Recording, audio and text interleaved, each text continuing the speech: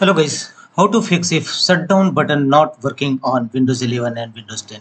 If Windows 11 shutdown button not working, then here are the fixes and the top fixes is first workaround is go to run command box by pressing right click on start button and choose run command box. Here execute the power troubleshoot command msdt.exe space slash id power diagnostic.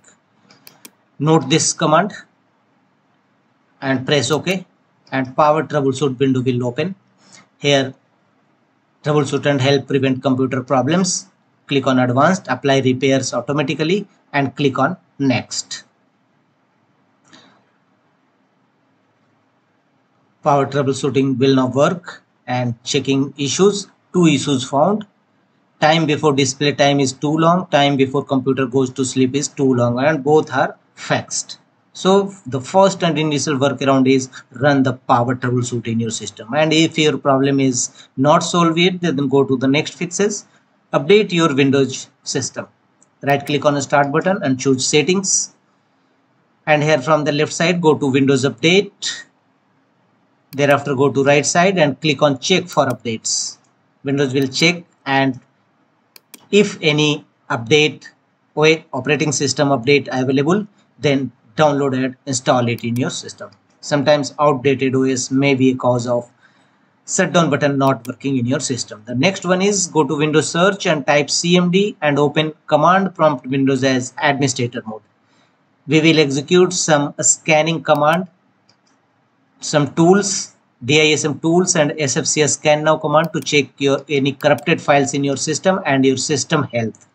These four commands execute one by one in your command prompt windows sfcs scan now dism scan health dism check health and dism restore health. Execute all these four commands one by one followed by enter key on each time.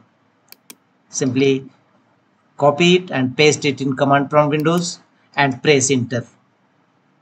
And wait for some times. It will take some times to scanning and apply the same procedure for these three DISM tool also. After that, restart your system and check whether your error shutdown button is working or not. The one more method is right click on a start button, choose run command box and in run command box type RSTRUI to open system restore windows. If your problem is still then go to the system restore window and system restore window is open restore system files and settings click on next and here choose a system restore point restore your computer to the state it was in before the selected event. So select any restore point. You may choose so more restore points and click on restore point and finally click on next. And the end confirm your restore point. Your computer will be restored to the state it was in before the event in the description below and click on finish. And after that restart your system. Your shutdown button not working error